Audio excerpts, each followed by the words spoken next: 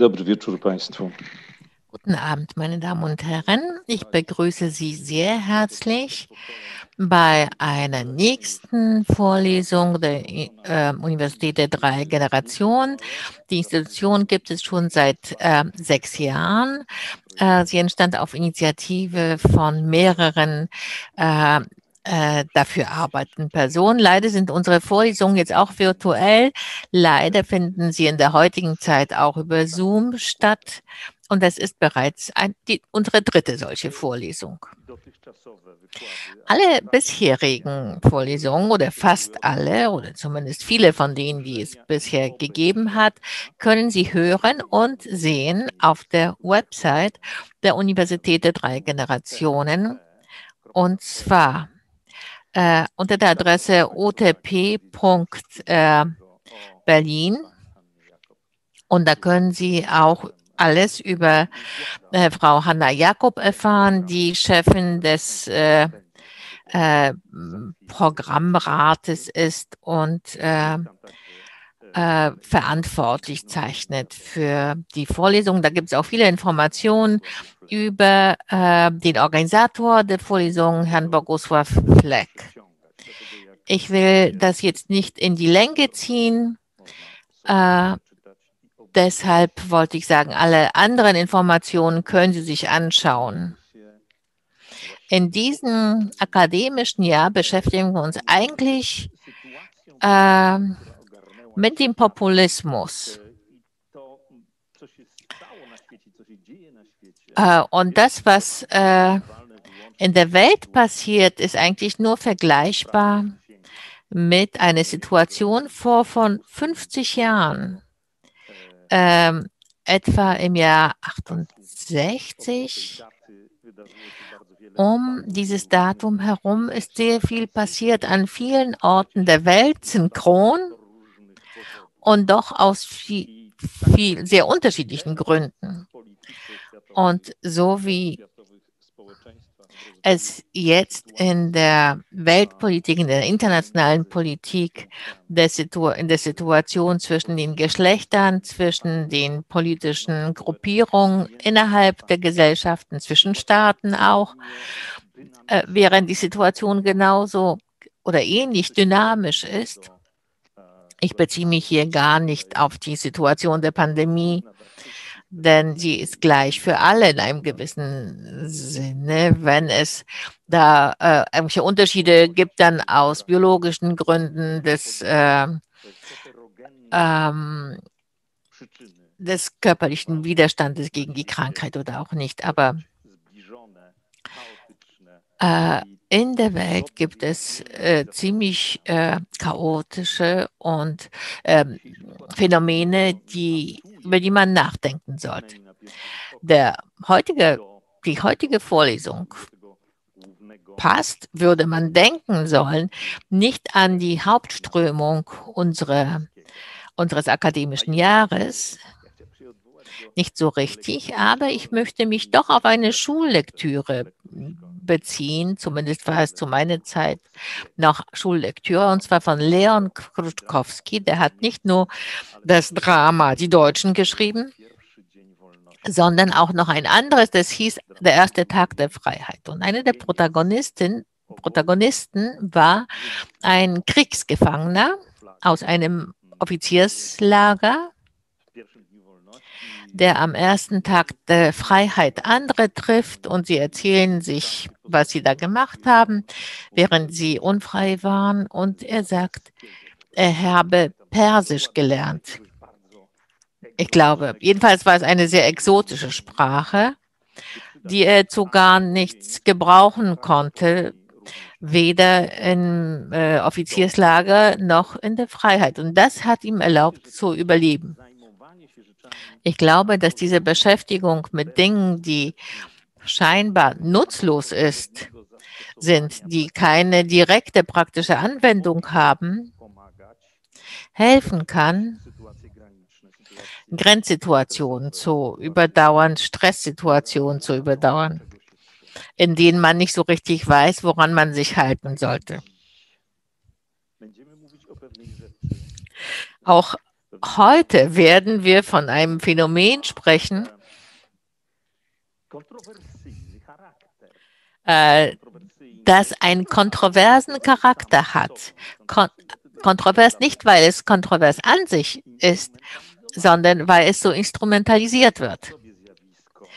Das Phänomen an sich, das Phänomen der sprachlichen Schwierigkeiten mit dem Genus, mit dem femininen oder äh, maskulinen Genus, mit den Anwendungen oder den Genderanwendungen des grammatischen Geschlechts, der, des persönlichen Geschlechts, des äh, gewählten oder erklärten Geschlechts. Dieses Phänomen kennen wir schon lange.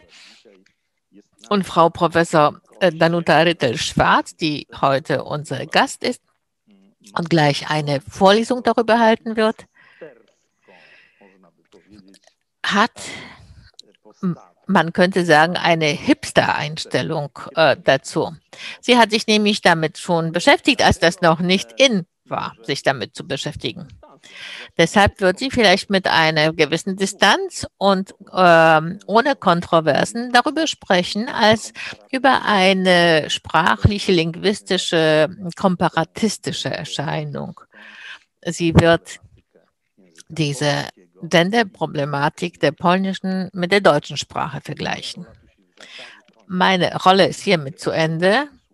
Ich werde jetzt beobachten und zuhören und Sie haben die Möglichkeit und die moralische Verpflichtung, sich einzumischen und Fragen zu stellen, die die Frau Professor vielleicht beantworten wird und ich werde sie mit Sicherheit vorlesen und äh, darüber nachdenken, ob ich sie weitergeben soll. Jetzt übergebe ich das Wort an Frau Professor Schwarz, ziehe mich zurück und wünsche Ihnen eine hochinteressante Vorlesung. Vielen herzlichen Dank, guten Abend, meine Damen und Herren. Es freut mich sehr, mit Ihnen hier zu sein. Ich bin zwar in Leipzig, Sie sind in Berlin. Das tut mir sehr leid, dass wir uns, dass diese Vorlesung in einer solchen Form stattfinden wird, aber ich hoffe, dass wir irgendwie zurechtkommen werden. Meine Damen und Herren, da meine Vorlesung tatsächlich hm, eine sprachwissenschaftliche Vorlesung sein wird, habe ich beschlossen, für die Vorlesung eine Präsentation vorzubereiten, damit äh, äh, Sie das vielleicht besser aufnehmen können und die Beispiele verfolgen können. Deshalb werde ich gleich mh, hm, mein Bildschirm mit Ihnen teilen und ich werde das gesprochene Wort unterstützen mit den Bildern. Ich hoffe, dass Sie es gut sehen können. Ich habe diese Vorlesung die Genderungerechtigkeit oder Gerechtigkeit des Polnischen aus deutscher Perspektive genannt. Ich wollte damit anfangen mit einem Motto. Nur was Einzelne tun, ist dem Spotte preisgegeben.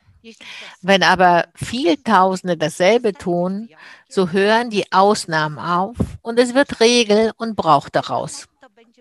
Dieses Motto wird äh, für unsere ganze Vorlesung heute stehen. Das sind Worte einer deutschen Schriftstellerin, Journalisten, Feministen, die um die Frauenrechte gekämpft hatte. Sie schrieb unter dem Pseudonym Otto Stern,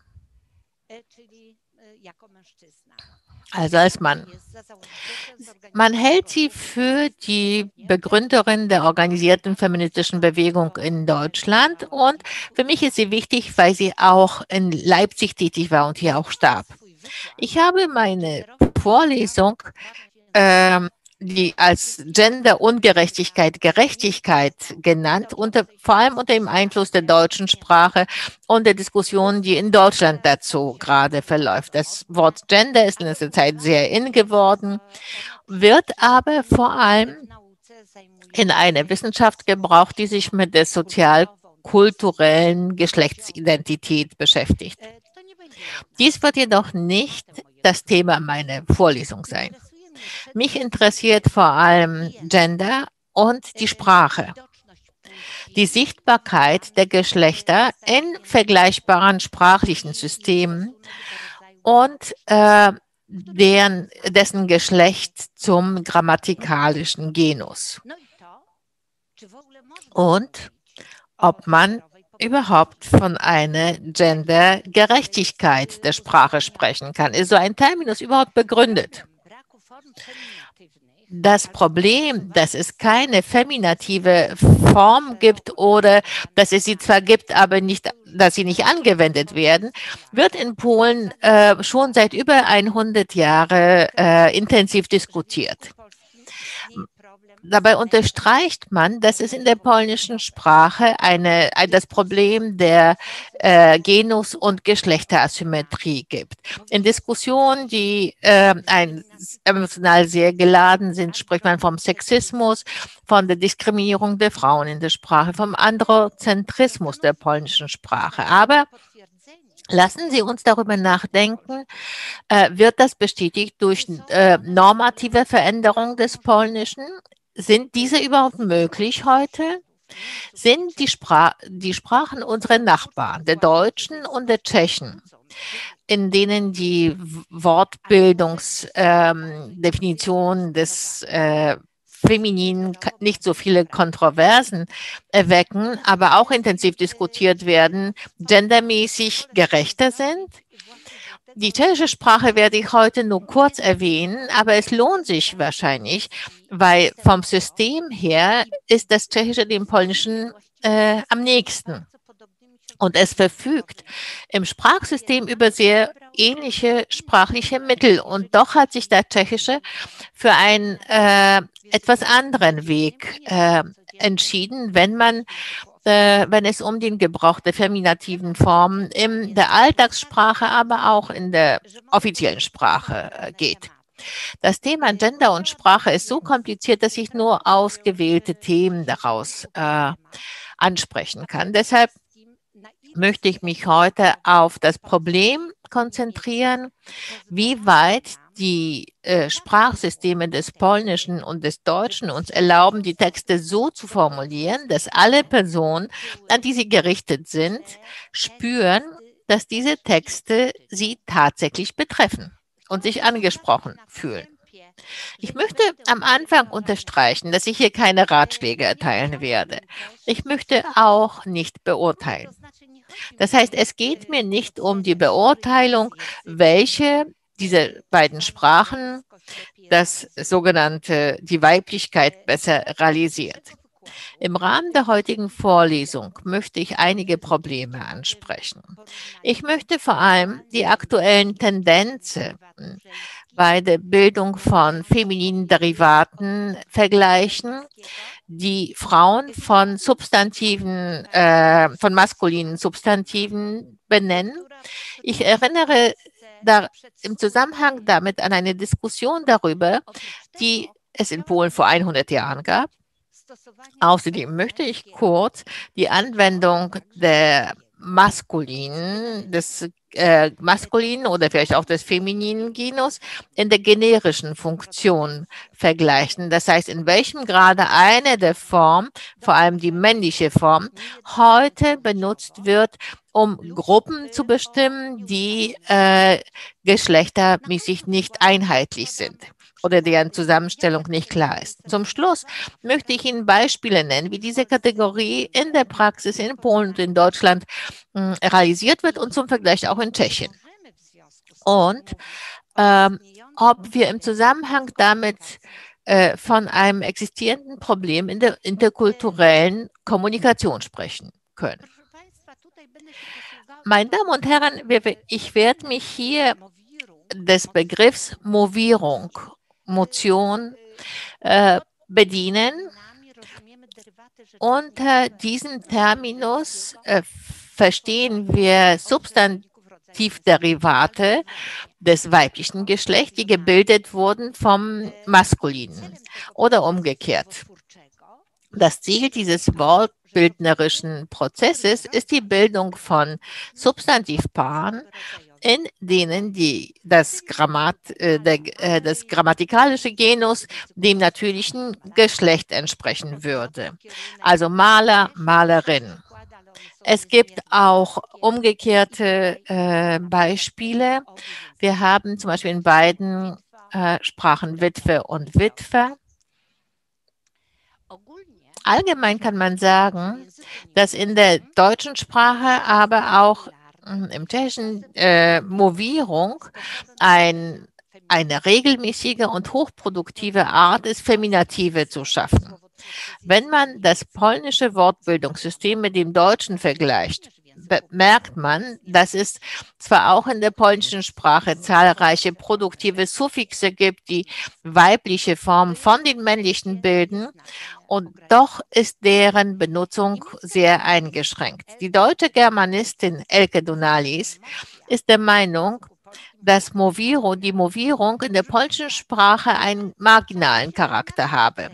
In Polen wird das manchmal anders gesehen. Zum Beispiel polemisiert mit ihr die polnische Germanistin Joanna Kubaszczyk, die schreibt, dass die polnische Sprache im Gegensatz zur deutschen äh, mit ein, ein äh, breites, äh, sehr äh, diverses Assortiment ähm, von Wortbildungsmitteln äh, besitzt, die der Movierung dienen und diese auch gern benutzt wodurch sich die Sprachen unterscheiden, nach Kobastik, sind die pragmatischen Anwendungen der äh, Feminativa.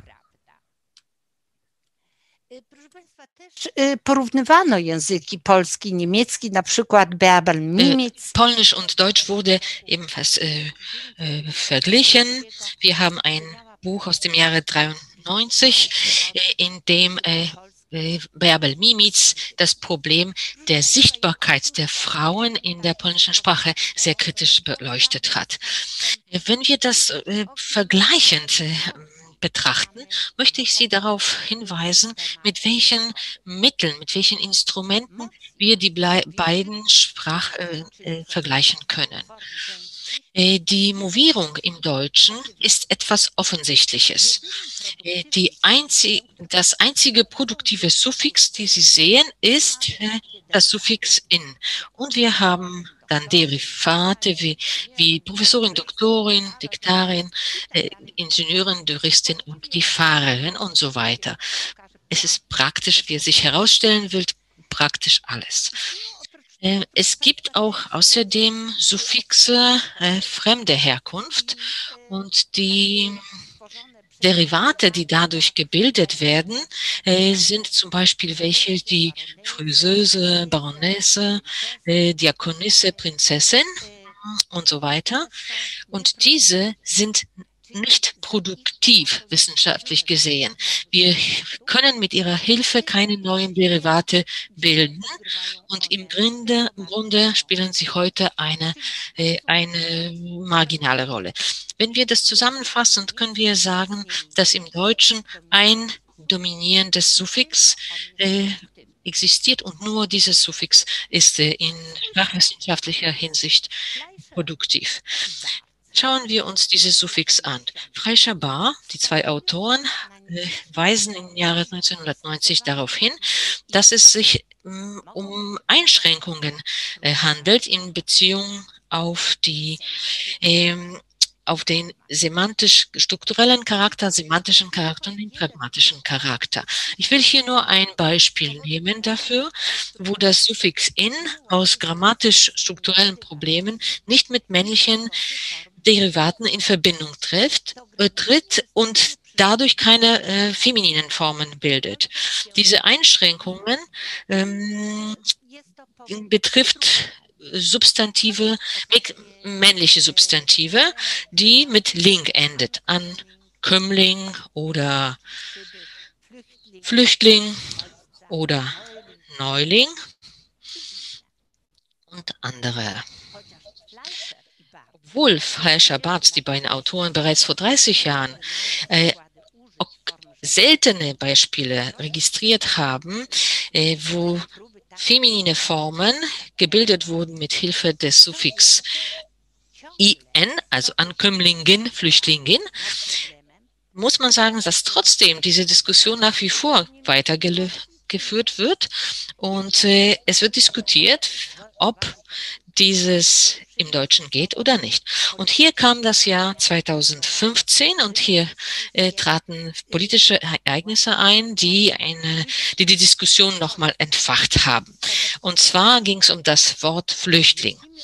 Diese Diskussion zeigt, mit welchen Problemen die Sprachsysteme hm, zu tun haben, in dem Fall die deutsche Sprache, in ihrem Kampf um die politische Korrektheit.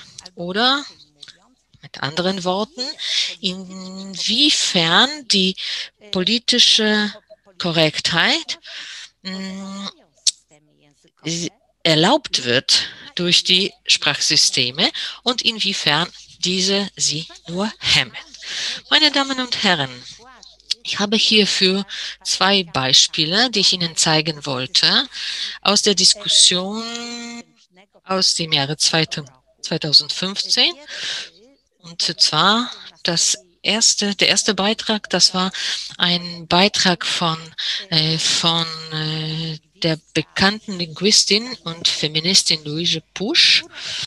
Äh, sie hat in ihrem, auf ihrem Blog in der Serie in Wenn der Flüchtling eine Frau ist, so hieß die Folge, äh, auf ihrem Blog Laut und Luise 17, äh, sagt sie das, äh, sagt sie folgendes. Ich werde hier den äh, polnischen Texten vorlesen, die Dolmetscherin den deutschen. Rein sprachlich gesehen sind aber die Flüchtlinge durchaus ein Problem, denn das Wort Flüchtling ist, wie alle deutschen Wörter, die mit Ling enden, ein Maskulinum, zu dem sich kein Femininum bilden lässt. Punkt. Meine Damen und Herren, sehr schnell reagierte hierfür zwei Monate später der deutsche Sprachwissenschaftler Peter Eisenberg in folgender Weise. Interessant ist, dass Flüchtlinge sich bei ungenauerem Hinsehen als politisch inkorrekt erweist. Es handelt sich um eine Personenbezeichnung im Maskulinum, die von der Bedeutung her eigentlich einem Femininum zugänglich sein sollte, wie bei Denker, Denkerin, Dieb, Diebin. Aber die Form Flüchtlingen, Flüchtlinginnen gibt es nicht. Es kann sie auch nicht geben. Ihre Bildung ist ausgeschlossen. Der Grund für das zunächst rätselhafte Verhalten von Link ist systematischer Natur. Das heißt, meine Damen und Herren, also es ist das System daran schuld. Ich wollte hier noch kurz sagen, dass diese Diskussion natürlich viel stimmiger geführt wurde und diese Stimmen waren auch sehr differenziert, denn darauf reagierte Anatol Stefanovic am 17. Dezember, der Folgendes gesagt hat.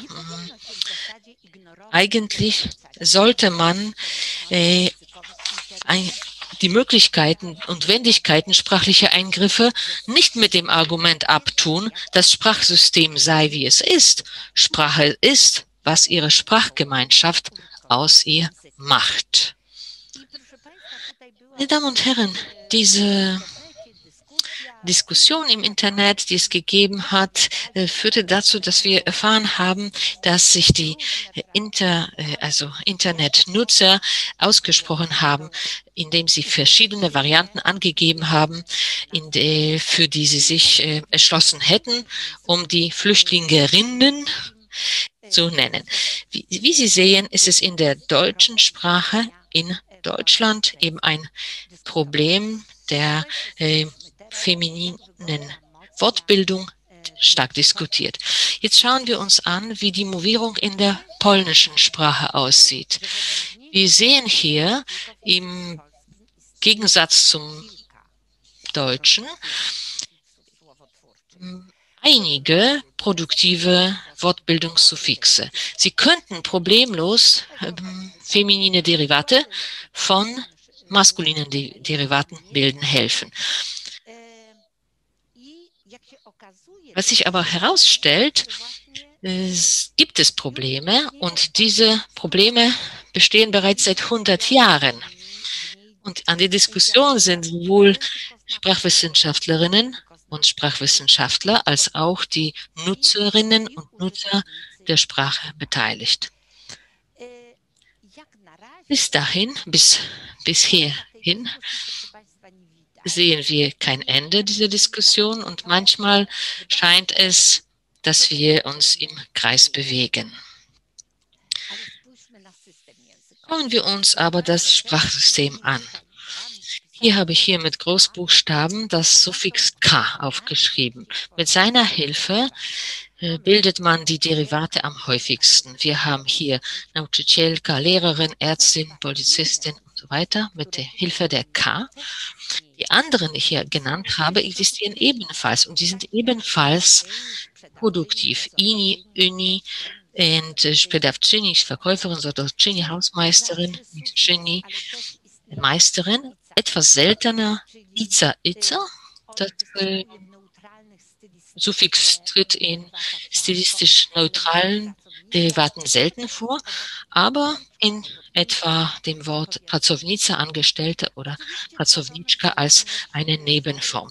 Natürlich werden auch ähm, Formen gebildet mit Hilfe der Adjektivendung a, das heißt Vorsitzende, Przewodnicząca oder etwas kolloquialer, die Chefin, Kravtsov, Chefin Chefowa und Schneiderin Kravtsova. Die übrigen, die sind sehr, sehr selten. Anka, Ina, Ina, Hrabina, Gräfin, äh, Kollegin, Koleżanka. Diese Zusammenstellung verweist darauf, dass im polnischen System, Sprachsystem, viele verschiedene Wortbildungsmittel existieren, die eine Bildung von Feminativen ermöglichen. Und doch werden diese feminativen Formen selten gebildet, obwohl ihre Bildung möglich wäre. Mehr noch, sie existieren im System der polnischen Sprache, aber in der Praxis werden sie wenig gebraucht. Hier gibt es etwas, was äh, ständig vielfach äh, wiederholt wird, eine Wahrheit. Je höher das gesellschaftliche Prestige des bezeichneten Berufs, desto häufiger äh, fehlt ein das weibliche Pendant des Wortes. Schauen so also wir also weiter, wie das im Polnischen gehandhabt wird und welche Probleme äh, uns hier erwartet. Eines der Probleme ist, dass wir die Feminative zu den traditionellen Berufsbezeichnungen verwenden, wie Köchin, Kellnerin, Kellnerka, Sekretarka, Sekretärin, Putzfrau, Sprzątaczka. Niemand kommt hier auf die Idee, dass man, dass man diese Frauenberufsbezeichnungen mit Hilfe männlicher Formen benutzen. Anders stellt es sich äh, dar, wenn wir die wissenschaftlichen Titel äh, oder Titel oder höhere Posten äh, meinen, denn sie werden nicht moviert. Äh, wir sagen dann gewöhnlich Frau Professor, Frau Direktor, Frau Psychologe, Frau Ingenieur und so weiter, Pani Ingenieur, Pani Psycholog, Pani Professor, Pani Direktor. Äh, das Problem Ingenieurin, Ingenieurka zu sagen, wäre höchst problematisch. Wie erklärt man sich das? Wir, wir, ähm, also es gibt auch offizielle Erklärungen, etwa des polnischen, des polnischen Sprachrates, dass es damit zusammenhängt, dass die, dass das Suffix, äh, dass das produktivste Suffix k hier daran schuld ist. Es heißt nämlich so, dieses Suffix bildet nämlich auch diminutive Formen. Das heißt, die können von den Zuhörern als weniger prestigeträchtig wahrgenommen werden. Wenn jemand sagt Professor K, assoziiere das mit Professorek, also mit dem kleinen Professor, mit dem Professorchen und nicht als Parallele prestigeträchtigen Berufsbezeichnung für Frauen.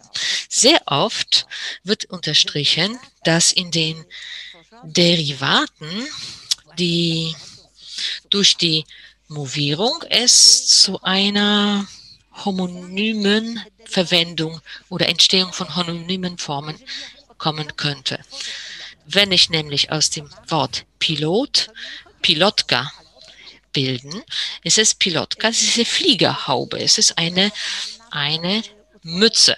Wenn ich aus dem Wort Mareja, Seemann, das Wort Marinarka bilde, dann bedeutet es ein Sakko. und so weiter. Der äh, Diplomat, dann die Diplomatin. Diplomatka ist eine Aktentasche. Regisserka ist ein Regieraum und nicht eine weibliche Regisseurin. Trotzdem gibt es Frauen, die diese homonymen Formen benutzen in Bezug auf ihre von ihnen ausgeführten Berufe.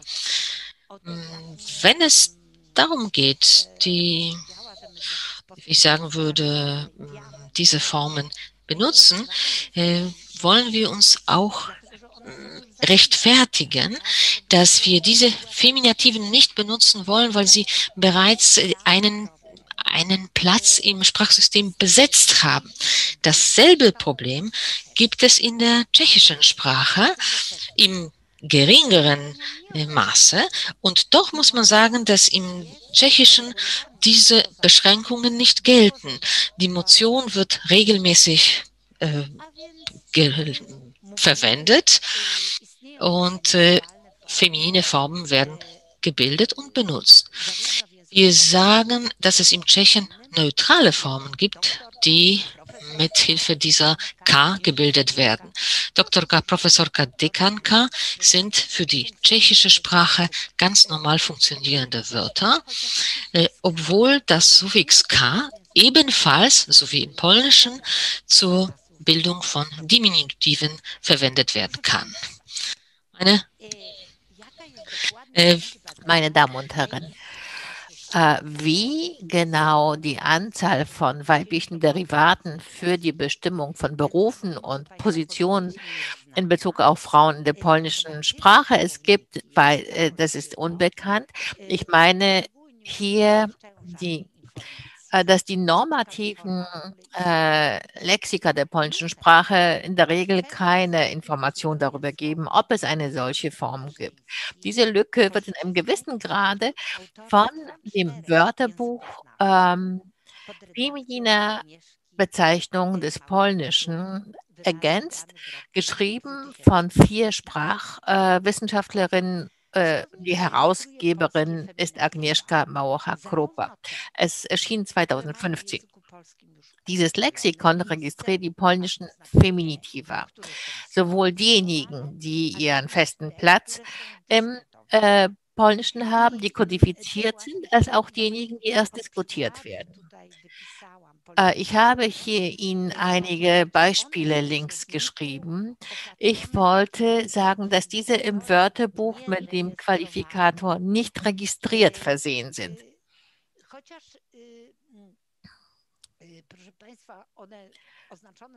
Obwohl sie als nicht registriert bezeichnet sind, so wird im Lexikon immer ein Beispiel angegeben. Und diese Beispiele stammen vor allem äh, aus Zeitschriften, feministischen äh, Zeitschriften, aus äh, öffentlichen Debatten, die mit feministischen Themen verbunden sind, aber auch aus den Internetquellen.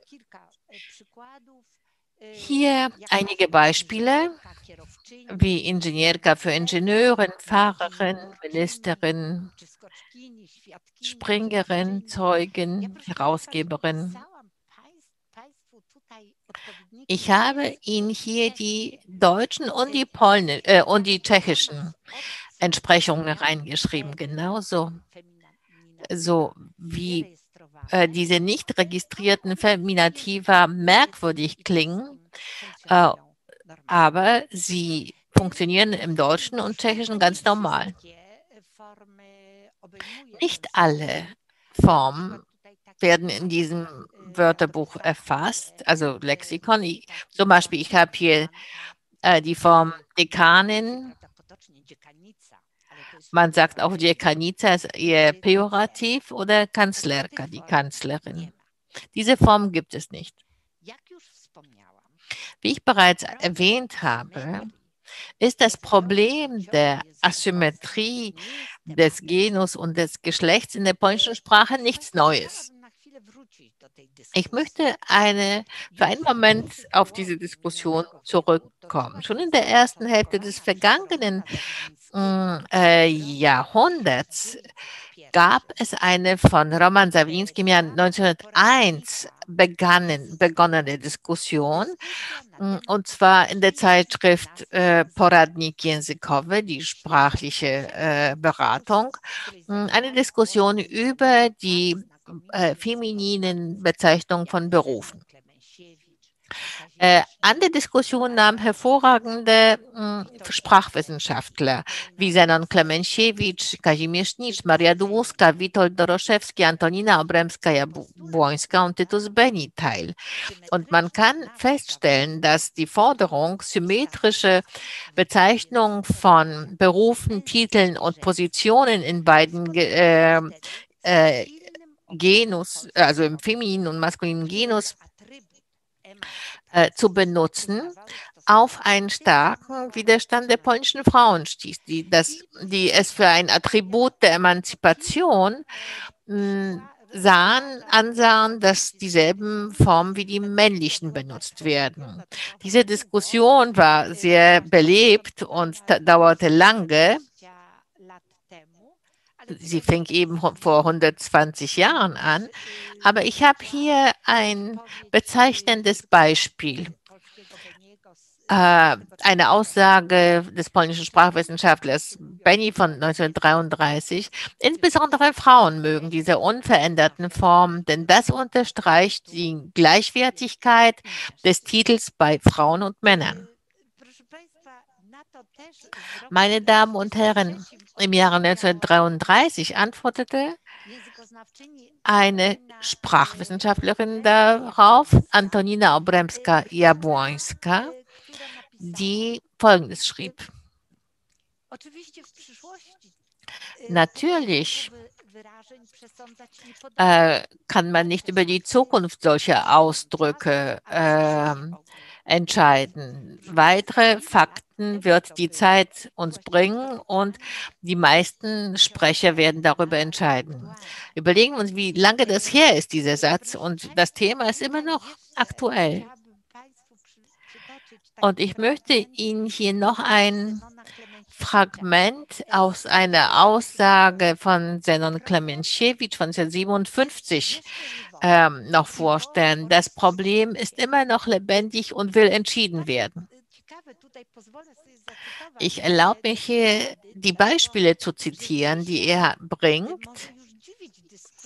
Denn heute könnte eine Diskussion über die weibliche äh, Entsprechung des Gefangenen äh, komisch vorkommen. Aber damals, 1957, überlegte Klemensiewicz, soll das Więźniarka heißen, Więzienka, Więziennica oder Więźnica? Wir wissen heute, Więźniarka ist die heutige Form. Im selben Artikel überlegte er, wie man die äh, weibliche Entsprechung des Abgeordneten bezeichnet. Posłan, poseł, posłanka, posełka, poślica, posełkini. Heute sagt man entweder Pani Poseł, Frau Abgeordneter oder Posłanka. Meine Damen und Herren, unsere Zeit ist beschränkt. Deshalb werde ich mich jetzt nicht näher mit der Diskussion beschäftigen, obwohl sie natürlich hochinteressant ist von vor 100 Jahren. Ich möchte aber sagen, dass das Problem uns äh, schon lange beschäftigt. Sie verfolgen ja ebenso die Diskussion wie ich. Ich habe äh, im Internet auf die Website der ähm, Sprachberatung geguckt und äh, da äh, gibt es oft den Eintrag, ich habe ein Problem, meine Zweifel betreffen, ich habe ein Dilemma. Gibt es da eine Regel? Meine Damen und Herren, die Antworten der Beratungsstellen sind sehr vorsichtig, würde ich sagen. Genauso wie vorsichtig äh, sich auch der Rat der polnischen Sprache dazu ausspricht. Und hier habe ich einen Ausschnitt aus einem Interview mit Mirosław Bańko, einem berühmten polnischen Sprachwissenschaftler, der ein Interview an die Zeitschrift Kultura Liberalna dieses Jahr erteilt hat im Januar und unter anderem sagte er Folgendes in dem Interview. Äh, Interview. Unter Sprachwissenschaftlerinnen, Polonistinnen gibt es viele Personen, die ohne Überzeugung oder mit Unwillen sich gegenüber weiblichen Formen äh, in den Berufen oder Funktionen mit höherem gesellschaftlichen Status äh, beziehen. Das erinnert sehr an den äh, Satz von Titus Benny von vor 90 Jahren. Meine Damen und Herren, da sind wieder die Frauen schuld. Lassen Sie uns jedoch zu dem System der polnischen Sprache zurückkommen. Da wollte ich Ihnen nur ganz kurz sagen, dass die, ob die wollte ich fragen, ob die Frauen äh, tatsächlich nicht sichtbar sind in der polnischen Sprache im Vergleich zur deutschen. Wenn wir uns diese beiden Sätze angucken, äh, das, was ich mit blau bezeichnet habe, signalisiert den Genus. Und davon gibt es sogar etwas mehr in der polnischen Sprache als in der deutschen. Aber der Genus wird hier auf eine andere Weise äh, signalisiert. Hier äh, dazu dienen äh, die Lexeme Frau, Professor, Frau, Redakteur, dann auch verbunden mit der Frau, äh, mit dem Wort, mit dem Lexem Frau, äh, Frau, Fahrer, Frau, Ingenieur. Äh, und ähm, das Problem liegt darin, dass diese ähm, dass die Pronomen äh, sichtbar, das sichtbar machen, auch äh, Adjektive oder äh, Zählwörter, wie auch manche äh, Flexionsformen der Verben. Also wir haben schon im Polnischen zur Verfügung viele Mittel, die uns das signalisieren. Meine Damen und Herren, aber es gibt tatsächlich ernstzunehmende Probleme. Die beginnen in dem Moment, äh, wenn wir die prädikativen äh, äh, Formen nutzen. Soll ich sagen, ist Frau Wolf ein bekannter Professor oder eine bekannte Professorin? Da stimmt irgendwas nicht in der polnischen Sprache auch. Noch schwieriger ist es, wenn wir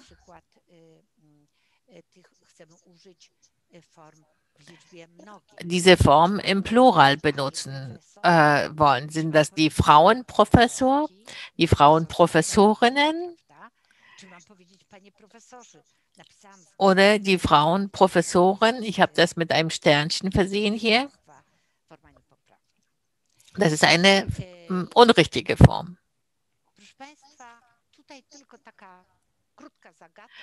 Hier nur ein kurzes Rätsels, Rätsel. Beachten Sie bitte, äh, mit welchen Problemen wir zu kämpfen haben. Wir haben auf Deutsch den Satz, eine junge BMW-Fahrerin kämpfte nach dem Unfall ums Leben. Ich gebe Ihnen drei Minuten, ich werde jetzt schweigen.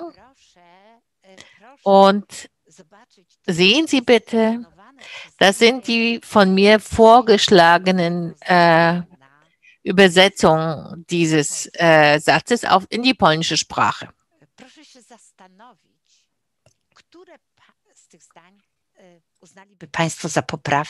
Nie. Bitte überlegen Sie in den drei Minuten, welche, welchen der Sätze Sie für sprachlich korrekt halten würden und welchen nicht.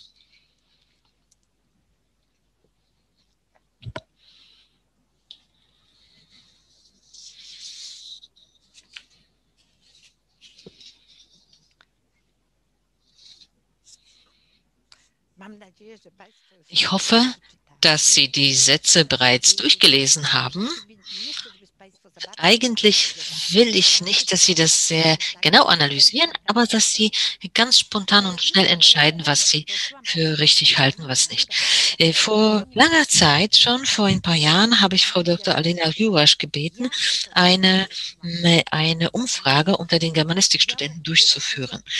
Das ist äh, germanistische Germanistikstudenten haben daran teilgenommen. Das sind 50 Personen gewesen, 42 Studentinnen und acht Studenten. Sehr interessant sind die Ergebnisse gewesen. Die Befragten hatten drei Möglichkeiten gehabt. Richtig, nicht richtig, also korrekt, nicht korrekt und zweifelhaft. Eigentlich sollten Sie jeden Satz äh, bewerten. 70 Prozent haben äh, da für das Wichtigste, für das, für das Ko Korrekteste den ersten und den zweiten Satz gehalten. Was mich aber sehr überrascht hat, keine von den angegebenen Vorschlägen wurde zu 100 Prozent abgelehnt. Äh, fünf, der fünfte und der sechste Satz hat, ist auf äh, äh, wenig äh, Begeisterung gestoßen. Ich habe mich mit der Frage dann an die Polonisten gewendet und in diesem Fall, äh, es waren nur 20 Befragte, wurde nur ein Satz von allen als grammatisch nicht korrekt hm, bewertet. Das ist Nummer fünf. Äh, außerdem waren die, äh, die äh, Ergebnisse ähnlich. Also, wenn Sie jetzt raten sollten, würden Sie äh, mit fünf richtig geraten haben. Alle anderen wurden so als grammatisch zulässig äh, be bewertet.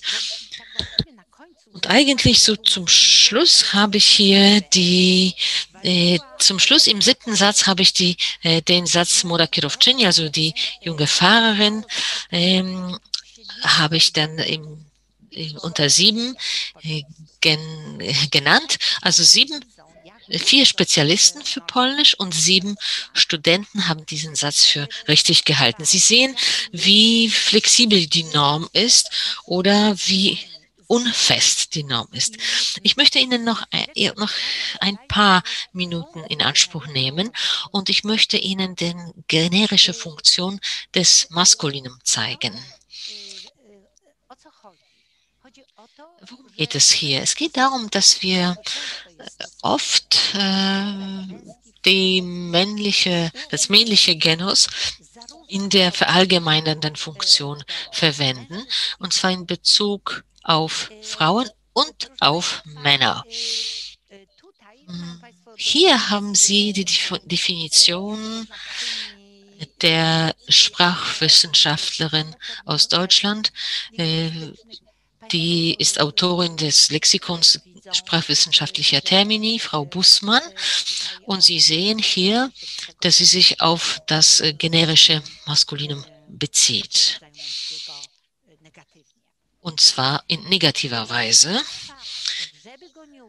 um diese äh, generische, generische äh, Funktion nicht zu gebrauchen, äh, gibt es in Deutsch, im Deutschen das sogenannte Splitting. Das sind so mm, Wortpaare.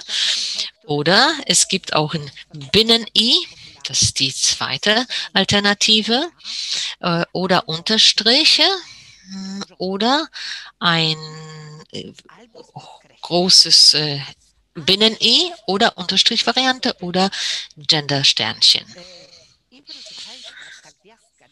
Dieses Gender-Sternchen ist ja neu und die ist ja nicht kodifiziert, aber die Benutzung dieses Sternchen ist sehr weit verbreitet, besonders im universitären Bereich äh, an deutschen Hochschulen.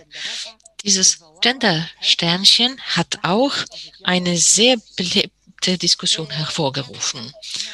Ich werde Ihnen jetzt aus Zeitmangel nicht äh, näher darauf eingehen, aber ich wollte sagen, dass noch etwas äh, im Hinblick auf die generische Gender-Benutzung ein paar Worte sagen. Ähm, ich äh, werde jetzt nur so viel sagen, dass die das menschliche äh, Genus im generischen Verständnis die Diskussion entfacht hat. Äh, und hier gibt es eine, äh, eine Stellungnahme des äh, Sprachwissenschaftlers Eisenberg. Nichts gegen die geschlechtergerechte Sprache. Doch das generische Maskulinum darf nicht angetastet werden, denn gerade das generische Maskulinum ist eine in der Sprache tief verankerte, elegante und leistungsstarke Möglichkeit zur Vermeidung von Diskriminierung. Meine Damen und Herren, ich kann mich nicht äh, davon zurückhalten, hier äh, etwas, äh, eine Formulierung nicht zu zitieren, die ich aus in der offiziellen akademischen Grammatik äh, der tschechischen Sprache gefunden habe. Das haben Sie hier in Tschechisch. Ich schreibe, lese Ihnen die hm, Übersetzung ins Polnische vorlesen. Die genderisch, die Genderrichtigkeit, die politische Richtigkeit, äh, ist äh, im Grunde genommen schädlich, denn sie verweist auf den Unterschied zwischen den Geschlechtern dort, wo der Geschlechterunterschied nicht bestehen sollte, also nicht sichtbar werden sollte. Da ich äh, schaue, dass unsere äh, Zeit bald äh, zu Ende ist, möchte ich noch zum Schluss als Fazit äh, ein paar Beispiele nennen und möchte Ihnen zeigen, wie wie ja in, im in deutschen, in deutschen akademischen Bereich die Stellenausschreibungen äh, formuliert werden. Äh, an der Universität Leipzig ist es die Regel, dass man generisches Maskulinum äh, angewendet wird mit der mit dem Zusatz MWD. Auf der, an der Universität Dresden verwendet man einen Strich, aber auch sehr regulär. Beide Firmen sind sichtbar, aber nicht drei Formen. Das ist Universität Dresden. Wir haben noch drei verschiedene Universitäten und zwar in Heidelberg äh, verwendet man einen Schrägstrich und bitte beachten Sie, äh, bei ein Strich, Strich gibt es bei der ähm, bei der Ausschreibung für den akademischen Rat oder Rätin und darunter fangen auch andere Kategorien an. Ab Stelle eines Beschäftigten haben wir die drei Kategorien MWD. Wenn wir die Universität in Greifswald und in Kiel uns anschauen, verwenden sie das Sternchen. Das äh, nicht allen gefällt. In den Stellenausschreibungen an den Universitäten in Deutschland sieht man das Bestreben, zwei oder drei Geschlechter zu berücksichtigen. Bei einer näheren Analyse habe ich jedoch festgestellt, dass die meisten Universitäten außer Leipzig und, äh, und Regensburg und Kiel, also die meisten Universitäten hm, zwei Geschlechter berücksichtigen und bei anderen Berufen drei drei äh, Geschlechter. Ich lasse das ohne Kommentar. Zum Vergleich, zum Vergleich habe ich hier Stellenausschreibungen an tschechischen und polnischen Hochschulen. Das ist auch eine sehr interessante Entwicklung in Prag und äh, Brno. Bern äh, ist bei der Bezeichnung eines einer Stelle für Professor und wissenschaftliche Mitarbeiter benutzt man ausschließlich maskuline Formen. Bei anderen bei anderen Stellen äh, werden beide Formen verwendet. Hier rechts sehen Sie, sehen Sie die ähm, Olmutz und äh, Budejovice, äh, dass parallel beide Formen äh, verwendet werden. Wie ist es in der, an der polnischen Universität? Ich habe nur hier ein Beispiel aus der Universität Warschau, Warschau aber glauben Sie mir, das wird äh, überall gleich sein. Gesucht werden Kandidaten auf die Stelle Adjunkt, also Adjunkt, äh, und Assistent und Leiter. Der Kandidat soll ein Absolvent sein und so weiter. Ich komme jetzt zum Schluss, meine Damen und Herren, und zu der Frage, gibt es, also soll man die Probleme der interkulturellen Kommunikation vor allem in der Sprache suchen? Ich muss sagen, ich werde hier nicht ohne Schwierigkeit einen der polnischen Minister äh, zitieren. Äh, das ist ähm, beschämend. Der Minister für Bildung und Wissenschaft stellte im polnischen Radio 24 fest, Gender ist eine marxistische Ideologie, es ist eine falsche Menschenvision. Ich bin auf der Seite der Wissenschaftler, die feststellen, dass es keine Wissenschaft ist. Meine Damen und Herren, ganz unterschiedliche Wahrnehmung von zwei oder drei natürlichen äh, Geschlechtern äh, führt dazu, dass wir sie vor allem in der Praxis wahrnehmen, in der Gesellschaftspolitik. Ich als Sprachwissenschaftlerin ähm, und würde weniger die Verantwortung in der polnischen Sprache, im System der polnischen Sprache suche.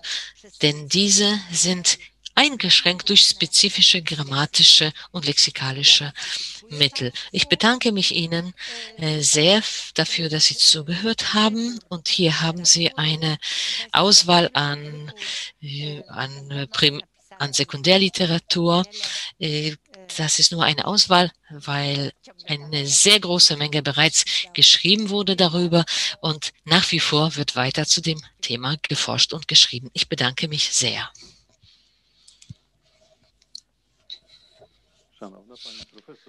Sehr geehrte Frau Professor, es ist nicht so, dass wir Sie äh, jetzt, äh, jetzt entlassen aus Ihrem Posten. Wir haben noch Zeit und wir werden Sie noch hier äh, ausnutzen. Das ist wahrscheinlich für unsere heutige Konferenz sehr von Nutzen, dass wir äh, Ihnen sehr viele Fragen stellen können und sehr viele viele Kommentare. Das sind nicht nur Fragen es äh, haben sich sehr, sehr lebhaft unsere, äh, unsere äh, Zuhörer eingeschaltet und sie bedauerten sehr, dass sie sie nicht live äh, erleben können. Und ähm, jetzt vielleicht zum, äh, zu Beginn wollte ich etwas Interessantes hier anführen. Eine Bemerkung, die äh, die darauf, äh, die darauf anspielt, dass es am einfachsten wäre, äh, so zu formulieren, bei Stellenausschreibungen so, dass es sehr allgemein ist und dann, äh, dann äh, vermeidet man den Vorwurf, dass man, dass man bestimmte Einschränkungen anheimgefallen ist. Und eine andere Stimme sagte, Genus Masculinum sollen wir äh, alle äh, Geni, also Maskuline in Feminine umwandeln Warum nicht, Frau, schreibt Anna Grenz. Es gab schon äh, Fälle an, der, an deutschen Universitäten, wo es nur geschrieben wurde Professorinnen, obwohl es auch Männer dabei waren. Frau Professor, ist es wirklich so, dass, dass die Wissenschaft, die Sprachwissenschaft äh, davon in Schutz nehmen kann, äh, gegen diese kontroversen äh, Stellung zu beziehen, was in der Politik passiert, in der polnischen Politik passiert und ähm, kann sie sich dagegen wehren, äh, an diesem äh, Diskurs teilzunehmen? Ich beantworte Ihnen gleich mit Nein auf die letzte äh, Frage. Nein, man muss Stellung beziehen. Aber ich bedanke mich für diese Fragen, für diese Bemerkungen. Denn ich dachte eigentlich, dass ich mich sehr beeilen muss und ein paar Sachen habe ich dadurch ausgespart. Dann kann ich durch diese Fragen darauf nochmal eingehen. Das erste, die Stellenausschreibungen. Meine Damen und Herren, ich hab, bin auf dieses Problem gestoßen, als ich aus, äh, als ich Polen verlassen habe, in den 80er Jahren nach Deutschland ging, um mein Stipendium anzunehmen.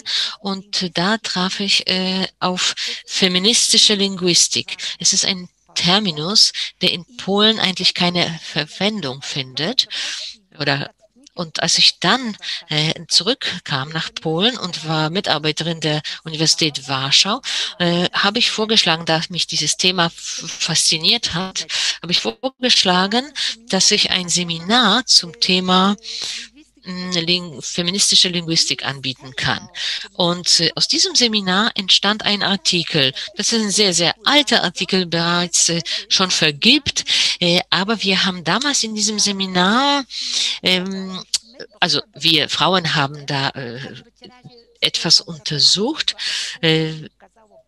und zwar in Co-Autorschaft. Wir haben als Co-Autorinnen diesen Artikel verfasst.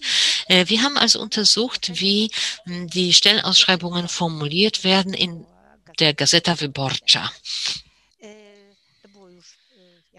Das war bereits nach der Wende. Und es stellte sich heraus, dass die dermaßen unterschiedlich sind, dass man eigentlich nicht weiß, äh, wie man sie zu lesen hat. Äh, auf derselben Seite gab es äh, Stellenausschreibungen, wir suchen einen Lehrer für Englisch und dann gleich daneben, wir suchen einen Lehrer, eine Lehrerin.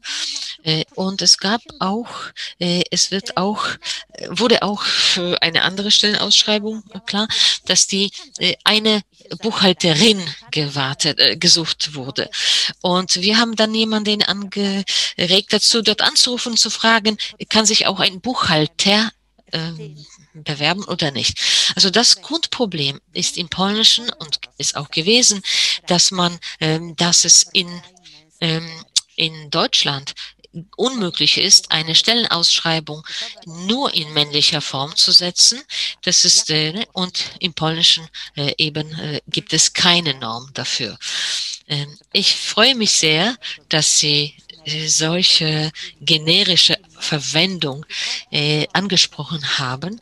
Äh, ich wollte eigentlich mehr mich darauf konzentrieren, habe das aus zeitlichen Gründen etwas reduziert.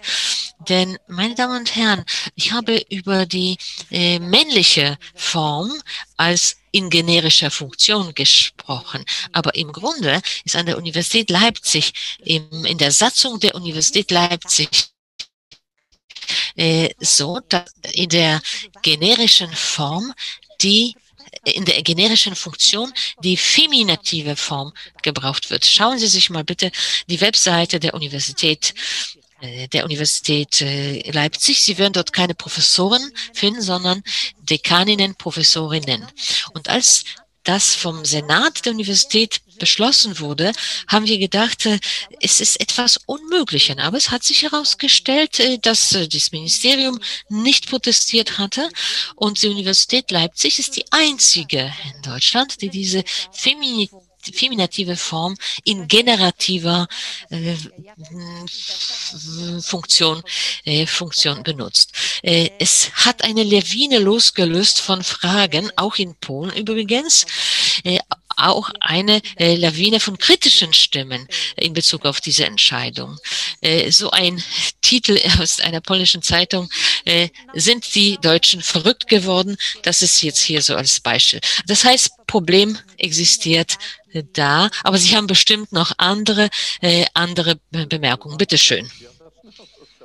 Ja, ganz entschieden. Ich fange mit dem letzten an.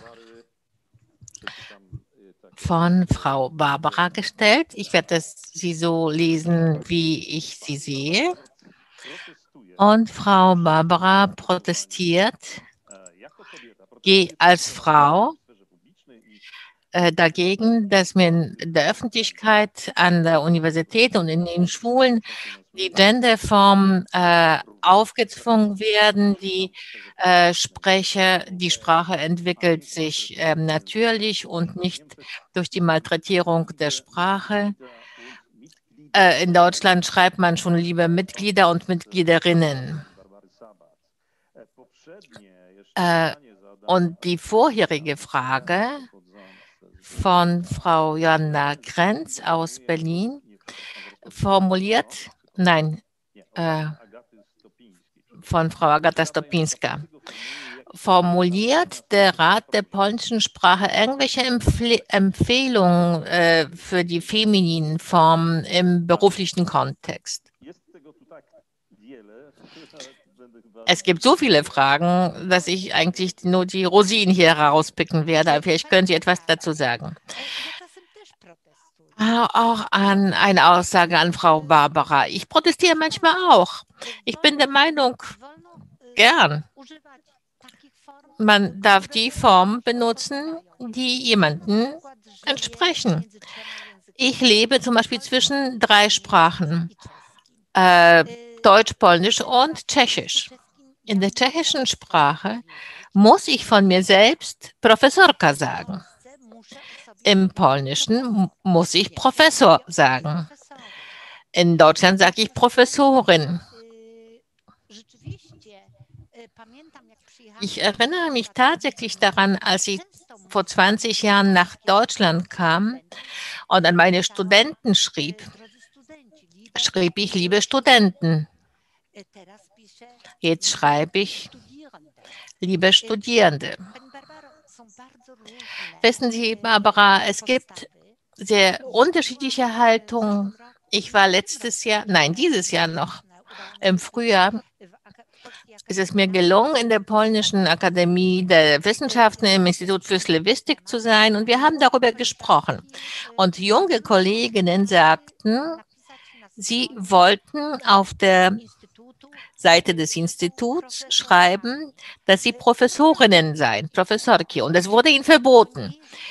Das heißt, das ist keine Form, die in irgendeiner Weise kodifiziert ist in Polen, nicht wahr? Das heißt, Sie haben das Recht zu protestieren. Und ich glaube, Sie haben das Recht, die Sprache so zu benutzen, wie Sie es für richtig halten. Und jetzt zu Frau Agatha, wenn es um die Empfehlungen geht. Mein meine Damen und Herren, der Rat für die polnische Sprache ist unglaublich vorsichtig. Ich habe ein wenig dazu gesammelt. Die wollen sich nicht erklären, welche Formen es geben sollte. Ich weiß nicht, ob Sie sich erinnern können, mit Sicherheit, die Älteren von Ihnen können sich an die Diskussion erinnern über Frau Ministerin Mocha, die im Programme im Programm Lies Live da, äh, verlangt hatte, dass er Frau Ministra sie anspricht. Aber auf der offiziellen Seite hatte sie es nicht veröffentlicht und da war sie immer noch Minister. Und da hatte der Rat für die polnische Sprache sich dazu ausgesprochen und geschrieben, ja, ich habe das hier irgendwo. Ich habe das äh, als Formulierung, ja, ja, eigentlich ist die Form Ministra für Ministerin eine richtige Form, eine korrekte Form. Aber die gibt es nicht in den Lexika. Ähm, die gibt es nur im Lexikon weibliche Form. Das heißt, es gibt keine Empfehlung ich weiß, ich habe, als ich Polonistik studiert habe, hat man mir gesagt, äh, man darf nicht Bioloschka oder Psycholoschka sagen. Und heute sagt man, warum nicht? Man darf das sagen. Das heißt, die Norm ist sehr mh, hm, unsicher und schon lange Zeit. Sie sprechen sehr konkret und richtig, dass die Norm äh, unsicher sei. Aber ich glaube, der Streit geht es nicht, geht nicht darum, was erlaubt ist und was nicht erlaubt ist, weil die äh, äh, diejenigen, die Sprache gebrauchen, die können sich da verständigen. Aber es geht um das Diktat der Correctness oder der Gerechtigkeit oder Ungerechtigkeit der Sprache. Es geht nicht um ein Phänomen, also unter Freunden, sondern es geht darum, dass bestimmte hm, Verhaltensweisen gebrandmarkt werden und andere äh, nicht. Herr Christoph Michniewicz hat noch eine Frage. Ich lese mal. Ist die Formulierung Faschistinnen und Faschisten sind 1933 an die Macht gekommen, äh, gerecht, sprachgerecht oder auch schon übertrieben? Da sieht man sozusagen eine äh, Aufregung über die über den Streit, der auf die sprachliche Ebene übertragen wurde. Und das ist für Sie ja auch selbstverständlich. Und darüber haben wir gesprochen und haben versucht, äh, das darauf zu beschränken, auf die Bereiche solche Sprachen wie Polnisch, Tschechisch oder Deutsch.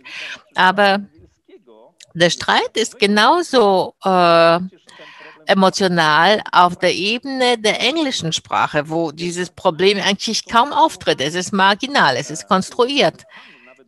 Aber dort wird man so, äh, hält man so für eine äh, Transphobie zu einem Culture Council solche Personen wie Frau, Frau Rowling, äh, Rowling mh, mm, die große Märchenerzählerin der englischen Sprache, verurteilt. Mir scheint, dass es uns die ganze Zeit auch gut gelungen ist, diese beiden Bereiche voneinander abzugrenzen. Die Feministen, den feministischen Bereich, den Bereich des Kampfes um gleiches Recht für alle, die Kult, den kulturellen Bereich von äh, dem sprachlichen Bereich, in dem vieles passiert und wo die äh, Sprachnutzer, äh, wie Sie gesagt haben, mit bestimmten Dingen einverstanden sind oder auch nicht. Sie äh, entscheiden mit den Füßen, also mit der Sprache und lassen sich dann überzeugen von bestimmten Formen. Vielleicht suchen wir noch was Kontroverses aus. Sehr gern. Was, was sagen Sie zu den Faschistinnen? Doch, ich möchte etwas dazu sagen. Die Frage ist ein bisschen so eine, eine Rache, nicht wahr? Warum nicht? Warum nicht dieses Wort? Glauben Sie mir bitte. Ich bin da sehr liberal und ich muss sagen, und ich gebe Ihnen zu, dass die Idee, die an der Universität Leipzig äh, angewendet wurde, nicht gefallen hat. Ich habe mich an den Kopf gefasst. Muss das wirklich so sein? Ich habe das auch ein wenig als Rache empfunden. Aber insgesamt ist das Prinzip, die, äh, der Grundsatz im Deutschen konkret. Wir gebrauchen das IN. Es gab keine Kanzlerin vorher, aber sobald sie auftauchte, hat man das IN gebraucht. Das heißt, es gibt eine Regel. Und an diesen Regeln mangelt es manchmal in der polnischen Sprache. Und am meisten rege ich mich auf, wenn es oft so ist, dass man in dieser äh, Sprachberatung schreibt, nein, das sind richtige Formen, ich habe nichts gegen diese Form. Aber andererseits weiß ich nicht, ob sie tatsächlich angewendet werden. Ich weiß nicht, ob es tatsächlich diesen Liberalismus gibt. Ich glaube, nein, da gibt es zwei Fronten, die gegeneinander kämpfen. Ja, zum Beispiel die äh, barmherzigen äh, Schwestern, die Arbeit finden wollten und Männer waren. Gut, aber Sie haben von der Köchin und dem Koch gesprochen. Stellen wir uns vor, dass eine Frau, die drei Michelin-Sterne als Köchin äh, äh, gewonnen hat. Sie würde lieber Koch heißen als Köchin im Polnischen. Ich glaube ja, ich glaube, Sie haben recht.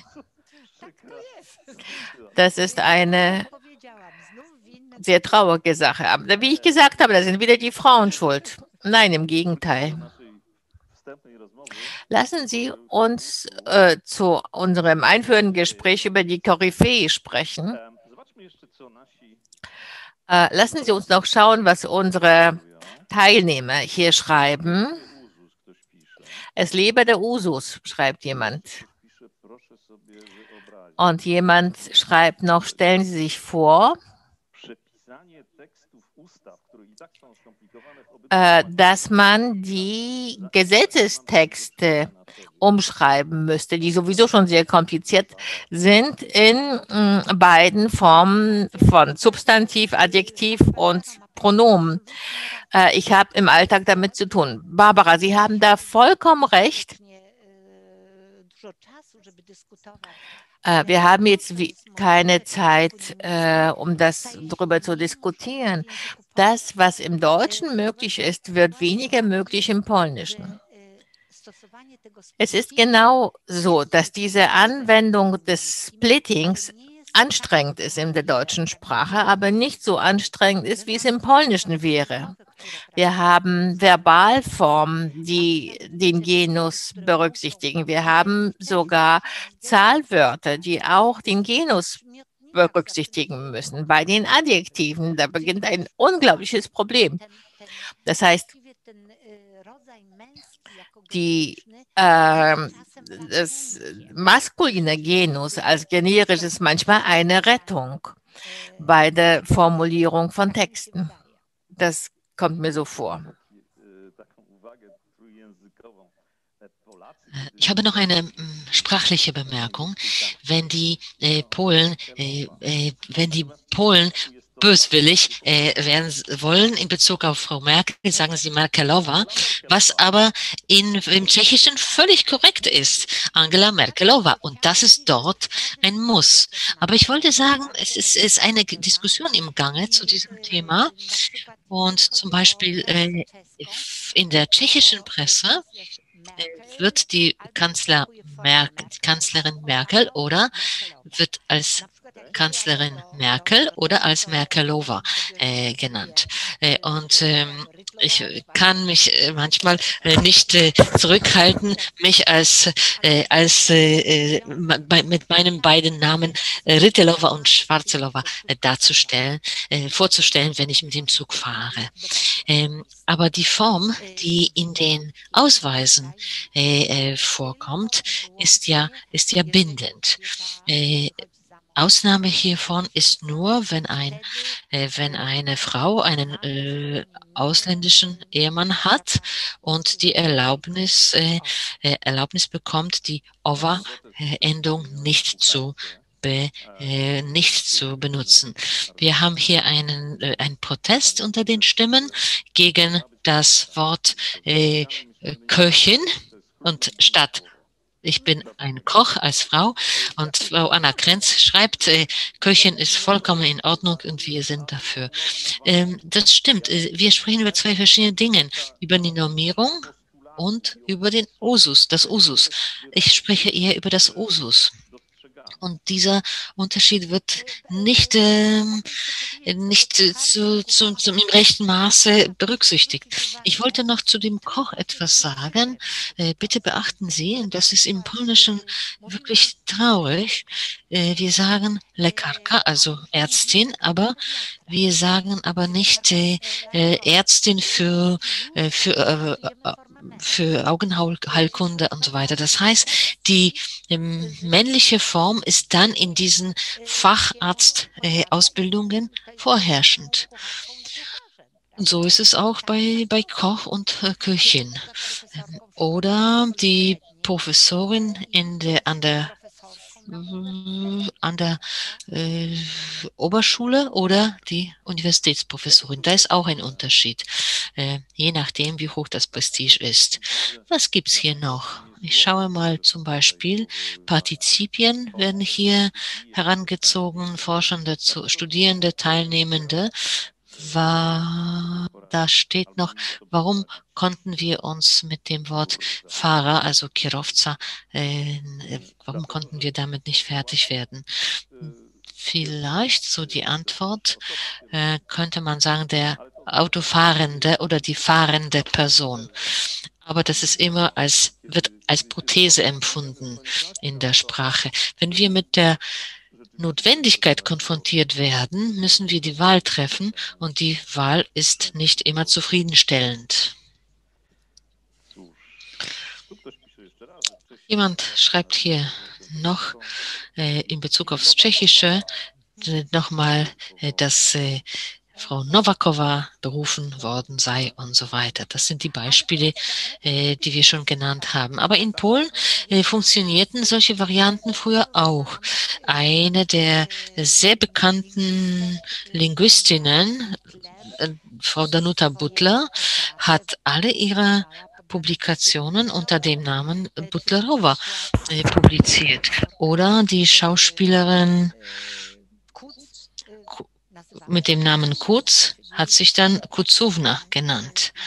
Hm, als äh, sie hat also den Namen äh, genutzt, äh, um ihre, um ihre äh, feminine Seite zu, zu äh, signalisieren, dass sie auch nicht, äh, nicht verheiratet war.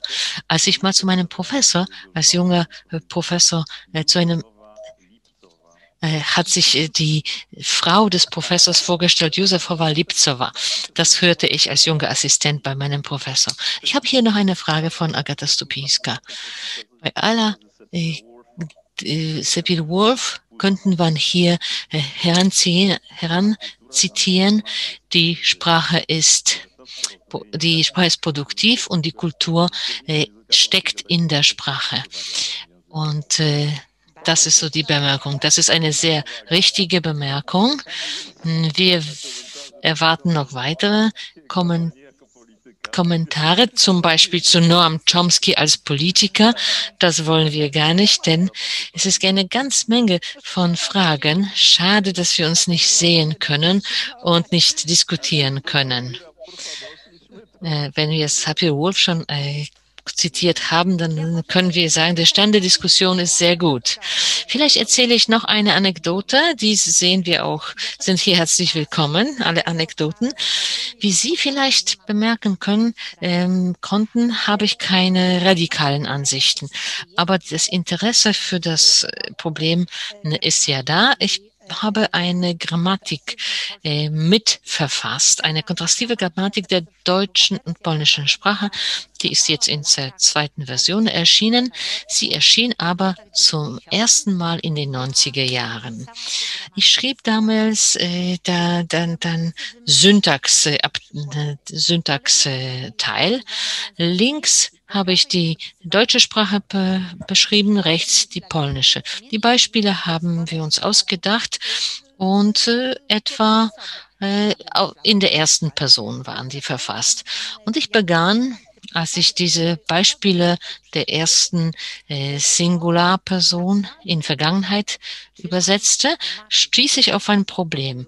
Bill, das heißt er war, oder był w szkole oder była. Sie war in der Schule. Und ähm, wir müssen also hier, mussten hier also eine Entscheidung treffen, ob wir in die feminine Form oder in die maskuline Form übersetzen.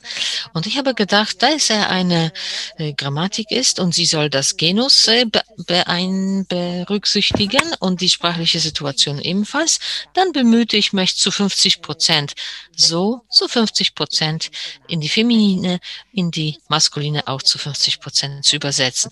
Einer der Professoren damals, und ich war damals noch sehr jung und er war ein älterer Professor. Er hat sich diese Texte angeschaut, durchgelesen und sie kommentiert. Und überall, wo ich die feminitiven Formen benutzte, strich er sie durch und äh, verwandelte sie in maskuline Formen.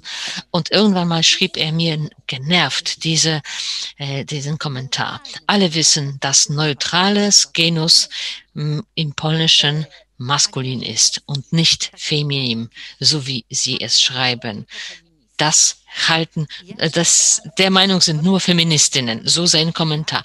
Ich fühlte mich sehr betroffen äh, damals und wir waren damals in Krümhübel auf einer Konferenz und alle Co-Autoren waren dabei.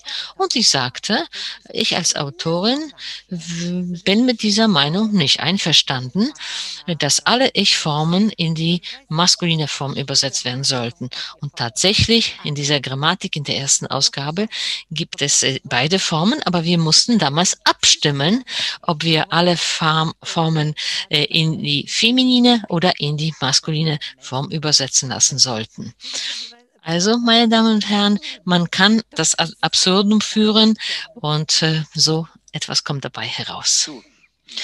Hm, vielleicht, äh, wenn wir jetzt langsam zum Schluss kommen, denn ich muss noch zum Schluss einen Dank aussprechen. Ich bedanke mich vor allem bei denen, die heute nicht sichtbar sind, aber zu hörbar sind und die heute eine besonders schwierige äh, Aufgabe hatten. Das waren Frauen, Frau Dorota Zigan und Agnieszka, Frau Agnieszka Grzybrowska, die simultan ins Deutsche übersetzt haben, aber es gab auch einen Mann, Herr Marek Kowalczyk, der das alles ermöglichte in technischer Hinsicht. Äh, Frau Professor, ich bedanke mich sehr. Wir könnten stundenlang darüber sprechen. Es gibt eine Konfrontation von sprachlichen und kulturellen Elementen, dann Deutschland und Polen, deutsche Sprache und polnische Sprache und Universität der drei Generationen. Das sind alles Vergleichsebenen. Und ich bedanke mich bei Ihnen sehr für die Teilnahme und bei Ihnen für den Vortrag. Ich bedanke mich sehr, sehr herzlich. Jemand hat noch etwas ganz Wichtiges geschrieben. Äh, warten wir noch kurz. Aha. Nein.